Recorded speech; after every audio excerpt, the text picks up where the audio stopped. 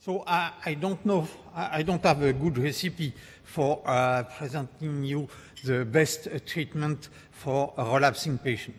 You know that in the WHO classification there are a, lo a lot of uh, subtypes and uh, uh, of uh, diffuse large B-cell lymphoma, but for the moment we treat all relapsing patients the same way, and I will not look at the biology of the uh, lymphoma to present you what we may do for the future of relapsing patients. Perhaps in five years from now, I will have to do that, but not now.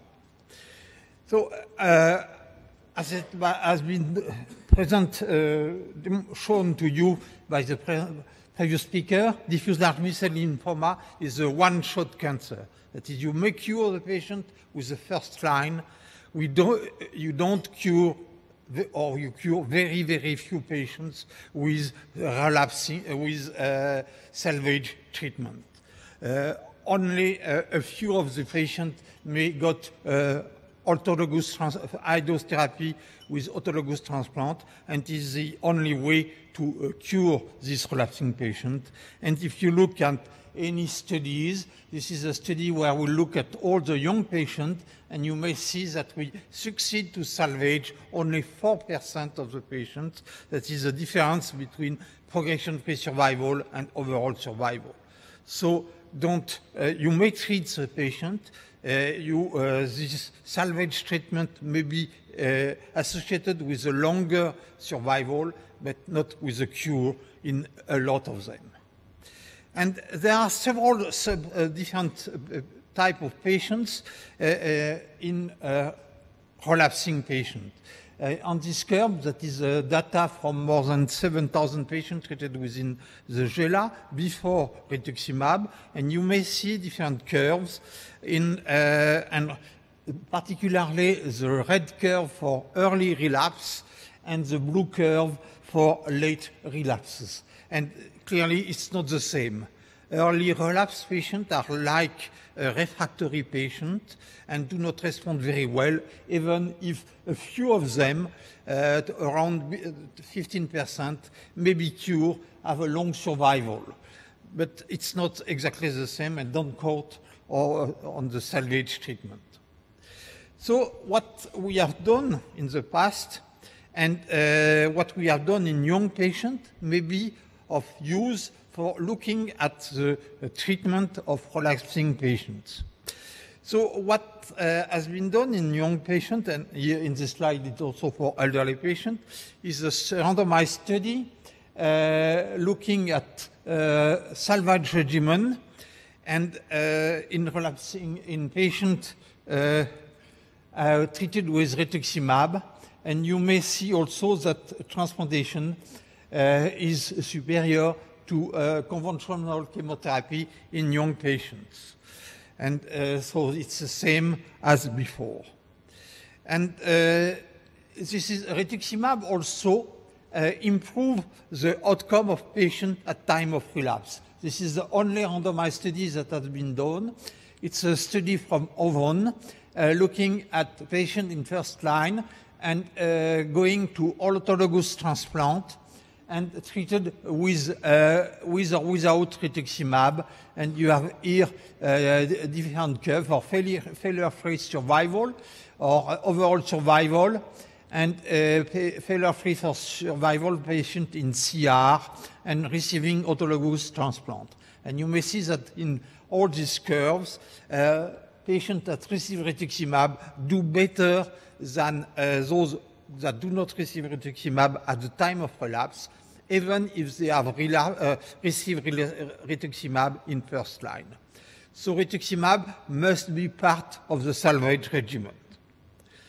And uh, the CORAL study in young patients also look at two different regimens, and uh, RICE and RDAP, and show that the outcome is the same whatever the regimen, and this is the response rate, and you have here the uh, outcome for uh, event-free survival or overall survival, no difference at all between the two regimens.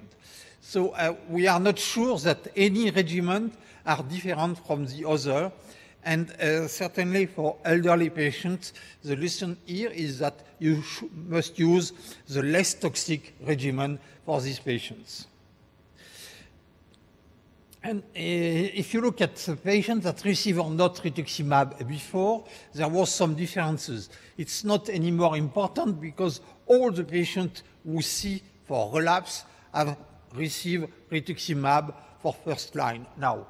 But uh, what is important is also the time of the progression. And the failure free from diagnosis, you may see that the outcome, if the patient have a late relapse, the outcome is not so bad. And here you have to look at the uh, brown curve. This is patients that with early relapse that have gone rituximab before, and you may see the difference between the two. So early relapses here uh, at time of rituximab is also a poor uh, prognosis.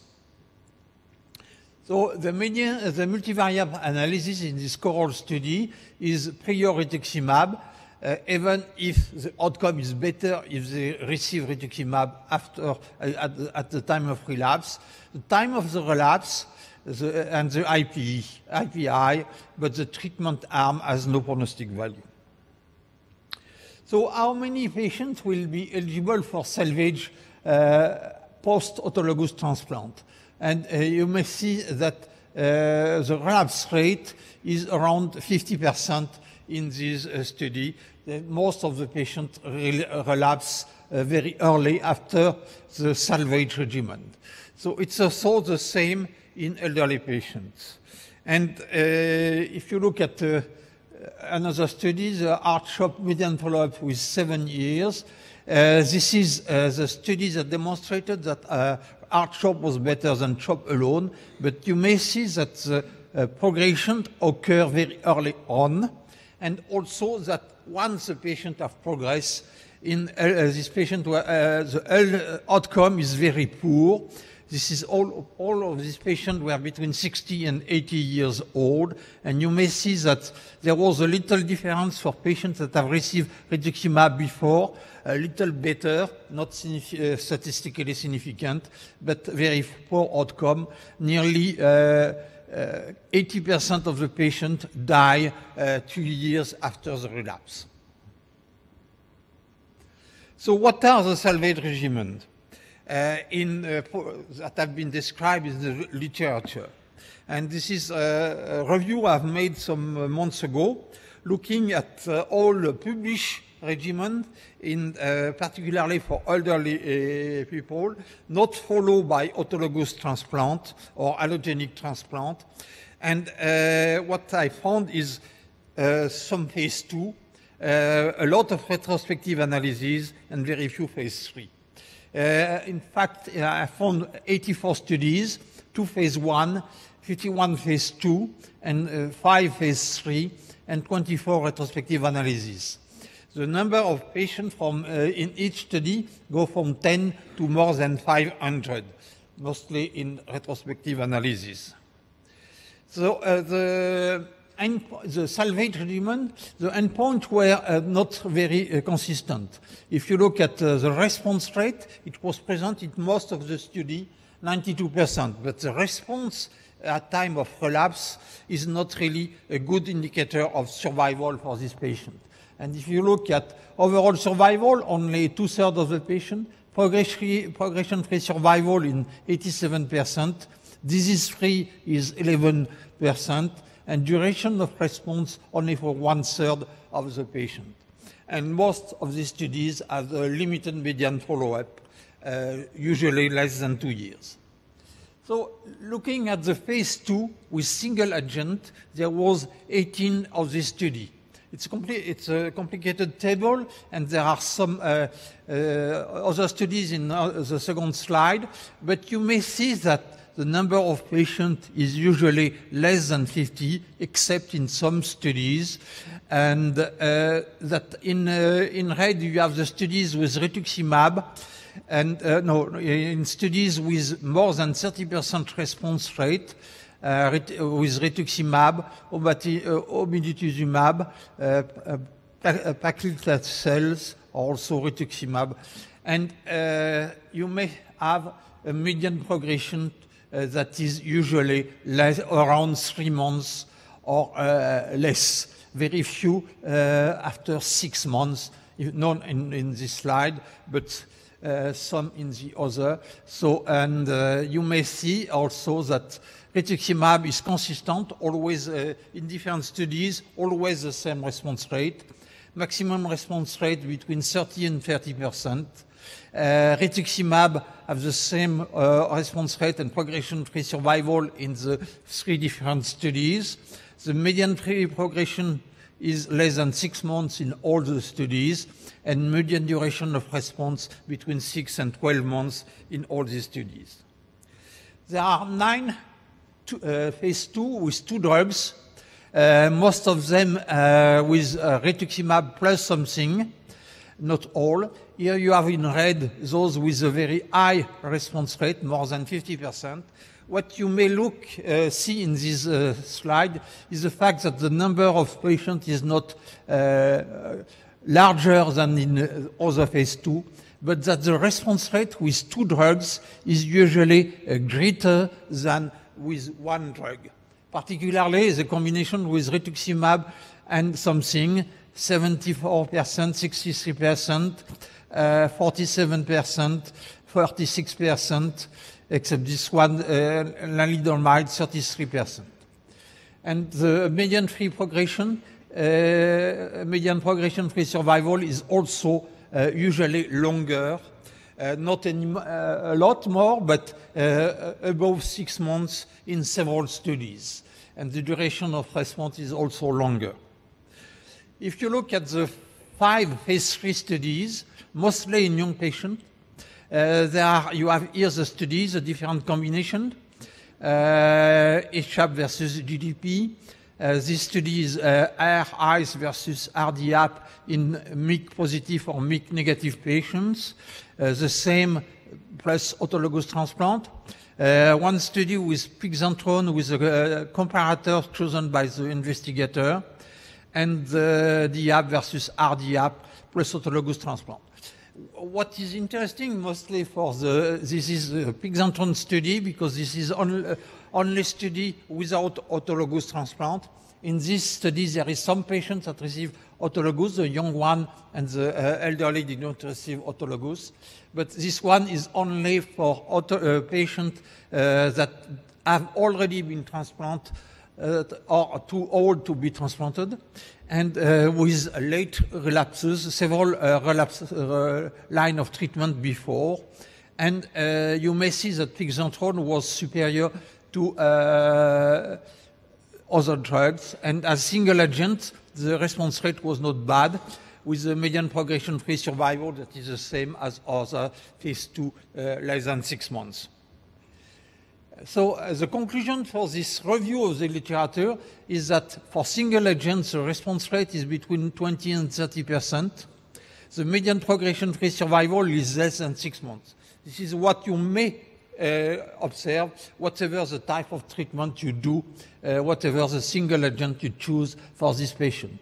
With two drugs, particularly R combinations, rituximab plus something, the results are slightly better with multi-drug regimen uh, in first progression, you uh, may have a curative option and you may uh, have very long survival with multi-drug regimen. And retrospective analysis is very difficult to conclude because it's a really a mixture of uh, a different lot, a lot of different fruits. So what may be interesting too is not to treat at time of progression, but try to prevent the progression. And you may do, uh, you may prevent the relapse uh, because uh, look, looking at the quality of the chemotherapy regimen or at the maintenance treatment.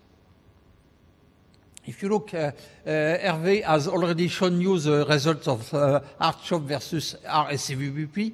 What is important is the fact that the response rate was exactly the same in both regimens but that the progression-free survival, event-free survival, and disease-free survival was not the same. That is, uh, you may only interpret that because the quality of the response, even if all patients were in CR, the quality was not exactly the same. There were some uh, CR patients that were cured and other CR patients with persisting lymphoma cells you don't see.